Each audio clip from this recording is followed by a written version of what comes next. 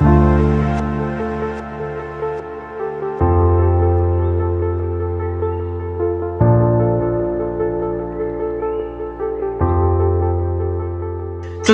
tu sais, tu es entrepreneur, tu t'es lancé, tu fais ton, ton parcours, mais très souvent, il y a toujours cette même question qui revient.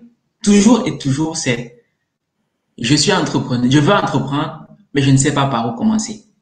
Donc toi, du haut de ton expérience, imaginons qu'un petit frère, une petite soeur, même un aîné vient te dire, bon, Claudel, moi aussi je veux me lancer. Tous les jours, t'entends parler sur Internet là. Oui, moi, je veux me lancer. Je commence par où? Qu'est-ce que tu lui réponds? Alors, la première chose que je vais faire, c'est une psychanalyse. Et là, je porte la casquette de médecin. Après, je vais l'enlever. Pourquoi est-ce que je le dis? Je le dis parce que il ne faut pas se lancer en entrepreneuriat pour de mauvaises raisons. Il ne faut pas se lancer en entrepreneuriat pour de mauvaises raisons. Parce que lorsqu'on se lance pour de mauvaises raisons, ce sera difficile d'affronter tous les challenges auxquels vous allez faire face. Et ici, je vais essayer de lister les cinq étapes incontournables du parcours d'un entrepreneur. C'est que si vous êtes entrepreneur ou si vous comptez vous lancer en entrepreneuriat, les cinq étapes que je vais lister ici, vous allez forcément passer par ces étapes. Et si vous n'avez pas des bonnes motivations pour vous lancer, à certaines étapes, vous allez abandonner. La première étape du parcours de tout entrepreneur, c'est la frustration. Tous les entrepreneurs qui réalisent des choses très grandes et importantes ont eu une profonde frustration. Parfois, ce sont même plusieurs frustrations en même temps qui les ont poussés à se dire, mais ça ne peut pas continuer comme ça, il faut que je fasse quelque chose. Ça, c'est la première étape. La deuxième étape avec la, après la frustration, ce sont les conflits. Parce que dès que vous serez frustré, je prends un exemple, supposons que vous êtes en Occident et vous vous rendez compte qu'il y a le racisme. C'est une frustration. Parce que vous êtes en route, vous êtes compétent dans votre travail, mais on dit non, tu es nègre, tu ne vois rien. Et tu te dis, mais attends, mais je suis puissant, je suis compétent. Comment les gens ne vont me dire que je bon? Donc, ça crée une frustration en toi. Tu as envie de leur démontrer au quotidien que tu n'es pas con. Tu vois, ça te pousse à avoir certains types d'initiatives. Donc, on a quitté la première étape. On se lance dans une initiative dans le but de pouvoir combler cette frustration ou faire en sorte que nos proches ne puissent pas vivre les mêmes frustrations. Sauf que quand tu vas te lancer maintenant en entrepreneuriat après ta frustration, il y aura un conflit qui va se créer entre ton environnement et toi.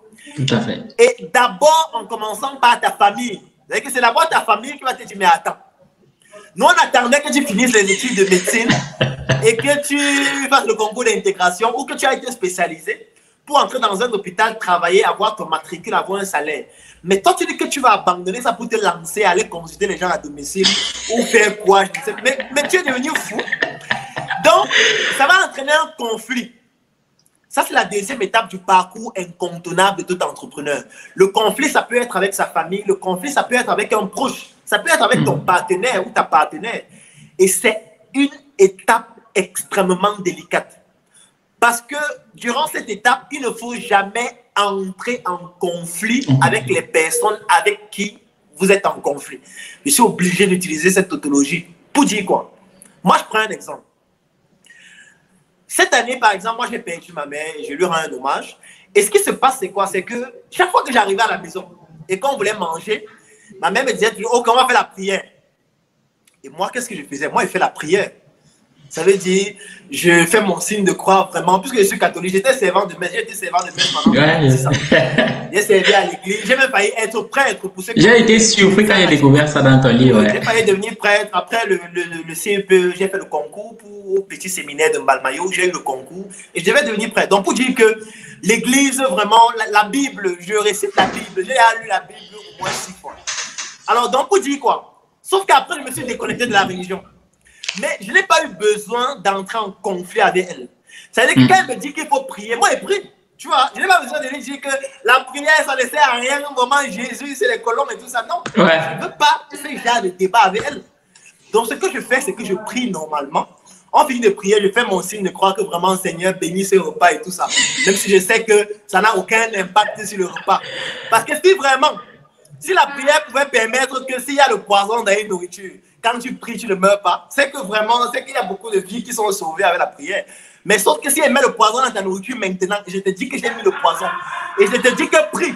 Oui. Je te dis de prier. Le poison va partir. Personne ne va manger. Ça dire que même toi, à, à ce moment, tu ne crois plus Tu crois plus. Tu La prière, si ça ne marche pas, il va mourir. Donc, moi, au fond, je sais qu'à un moment donné, les trucs de prière, là, ça ne marche pas. Du moins, ça ne peut pas marcher seul. Il faut associer le travail, il faut associer des choses physiques et palpables. Mais je ne veux pas débattre avec mes parents sur ça, tu vois. Donc, quand on entre dans la zone du conflit, la seule chose qui peut rassurer et convaincre les personnes avec qui vous seriez en conflit, ce sont vos résultats. Donc, n'essayez pas de débattre avec ces personnes, essayez de travailler pour obtenir des résultats et vos résultats vont parler pour vous et faire en sorte qu'ils soient d'accord à un moment. Parce qu'il y a des fois où je venais à la maison et quand je finissais de discuter avec ma mère, en partant, je prends une petite enveloppe où j'ai mis 100 000 à l'intérieur. Je lui donne, je dis que bon, maman, c'est un petit truc que j'ai réservé pour toi là. C'est vrai que l'activité ne donne pas encore, mais vraiment, c'est un petit truc pour ton carburant. Elle dit que vraiment, le Seigneur est magnifique, hein, mon fils. Tu dis que tu fais quoi encore? Tu dis que tu consultes à domicile. Ça ne pas comment. Vraiment, il faut que le Seigneur te donne plus de patience. Alors qu'avant, quand tu veux consulter, on dit que monsieur, va faire le concours d'intégration. Donc, pour dire quoi? Pour dire que c'est la deuxième étape. La troisième étape, c'est l'isolement. Parce que quand tu es beaucoup entré en conflit avec les gens, tu te sens incompris. Tu vois, tu te retrouves à une étape où tu fais des choses, tu as l'impression que les gens ne te comprennent pas. Et c'est une étape qui est très dangereuse parce que ça peut pousser à la dépression et ça peut pousser même au suicide. Hmm. C'est pour ça qu'à cette étape, il ne faut jamais être seul. Il faut s'accompagner de personnes qui sont sur le même process et qui peuvent t'édifier par leur expérience pour que tu puisses traverser cette étape facilement. Donc ça, c'est la troisième étape, c'est l'isolement. La quatrième étape, c'est la recherche du financement. C'est l'étape où tu as déjà essayé de gagner de l'argent, tu as pu gagner 50 000, 100 000, 500 000, 1 million, et tu te dis, ouais, si on me finance même 5 millions, je vais changer l'Afrique. Parce que si on me donne 5 millions, je finance le projet si ça va me permettre de gagner même 150 millions dans deux ans, et puis vraiment, je vais sauver l'Afrique, je vais devenir riche. Ça, c'est l'étape de la recherche du financement. Et c'est une étape très délicate. Pourquoi? Parce qu'il y a des financements qui sont piégés. Et c'est important de le comprendre. Piégé, pourquoi? Parce qu'il y a des gens qui vous donnent de l'argent sous certaines conditions qui vont dégrader totalement ce que vous faites et qui pourraient faire même en sorte que vous ne puissiez plus jamais entreprendre et qui pourraient même vous entraîner dans des problèmes très graves. Donc, dans cette étape, il faut vraiment un avis éclairé. Il faut quelqu'un qui peut vous orienter pour ne pas prendre un financement qui est dangereux. Donc, ça, c'est la quatrième étape. Et la cinquième étape, c'est la structuration, le développement de son patrimoine et la recherche ou plutôt la consolidation d'une équipe qui pourra faire en sorte que ce patrimoine perdu dans le temps. Donc, si un jeune vient me dire, Claudel, tu bavardes beaucoup sur Internet, comment est-ce que je dois faire? Je vais lui dire, un, quelles sont tes motivations? Qu'est-ce qui te pousse vraiment à vouloir te lancer? Deux, est-ce que les cinq étapes que je viens de lister là, est-ce que tu es prêt à affronter tout ça?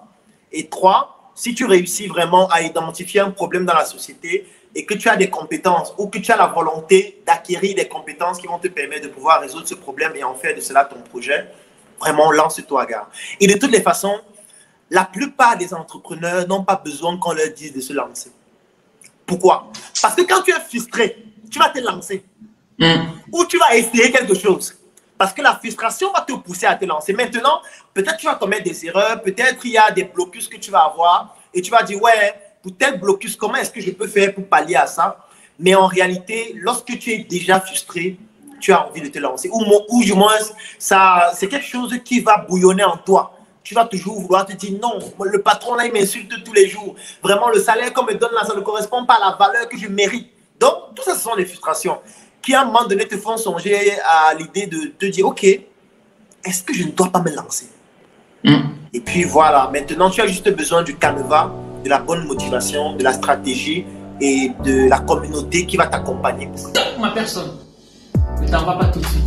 Maintenant que tu as fini d'écouter Claudel ici, si jamais tu es intéressé par le business, tu veux monter ton business en Afrique, je te conseille vivement son livre qui s'intitule Le jeune entrepreneur africain.